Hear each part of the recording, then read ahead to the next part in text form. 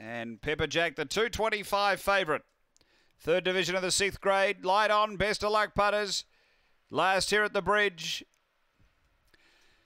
Ready and racing. Pace from Blazemaker down near the insides. Booting through with Claretown Molly. Out wider. Kenya Thunder trying to get around them. Just jammed a bit there with Pepper Jack who copped a little check. And back at the tail, Victor Darrell. But Blazemaker up to the turn led uh, from Claretown Molly. Then Kenya Thunder. Blazemaker the leader from Claretown Molly. And Blazemaker all the way. Blazemaker first. Kenya Thunder second. Claretown Molly third. Then Pepper Jack with Victor Darrell. Time here is around 22 and 20 after the running of race number nine. And uh, Blaze Maker has been too good here.